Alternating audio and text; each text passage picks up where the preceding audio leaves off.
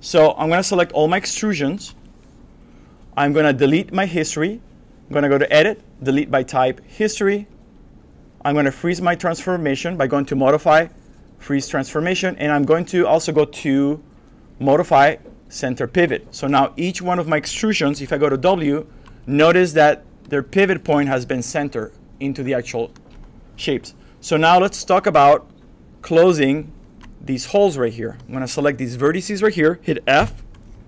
What I want to do is I want to double click on the edge loop and we can go shift because it's an edge, shift right mouse button and I'm going to go to fill hole.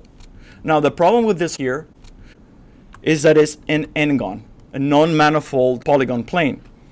So what I'm going to do is I'm going to split this using my multicut tool, which is found inside of my modeling toolkit. And I'm going to click on the top right here. And then I'm going to click at the bottom, hit enter, and notice that I've split this non-manifold face in half. So I went from eight edges for one polygon face down to four. One, two, three, and four. Now I can split this again by going from here and then going to the opposite side, hit enter, and now notice that I have quads. If I go to faces, notice that I have this face here, one, two, three, four edges, four, four, four. Now, if I was to hit three right now, notice that I get a very soft curvature on that face. So this is fine because we're doing a neon tube. So the ends of the neon tubes tend to be smooth and circular. What if we wanted to create a hard edge on this tube? Well, I would have to use the fencing technique.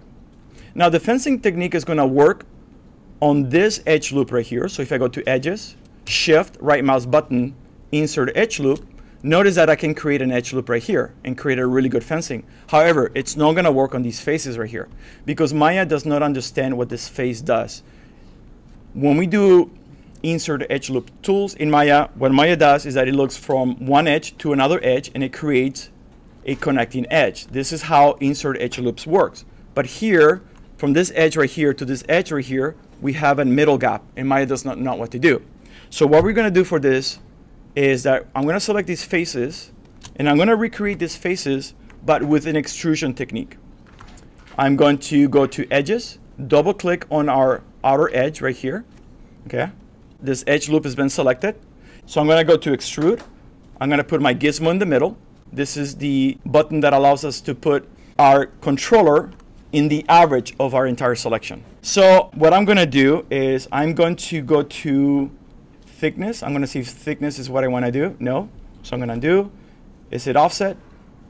As you can see, the gizmo has a mind of its own. So what I'm going to do, because I've created an extrusion, I'm going to hit R for scale. And now I'm going to do two scale operations.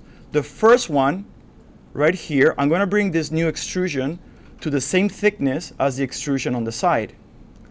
And then I'm going to go and hit G again to repeat the last operation, which is extrusion. Or I can click on extrusion and the extrusion tool will show up again. I've created another extrusion. I'm going to hit R to put my scale tool now in the middle.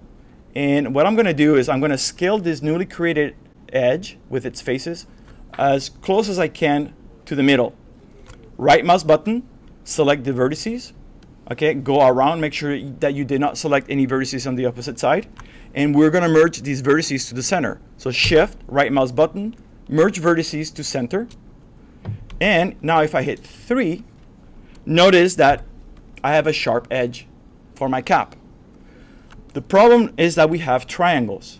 So what I'm going to do is I'm going to imitate the shapes of the polygons that I had when I had the fill hole. So I'm going to go to edges and I'm going to select this edge right here.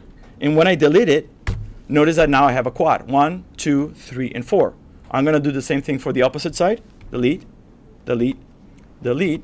And this is how you're able to cap the end of an extruded tube, fencing the edges with both an insert edge loop tool and using the extrusion technique.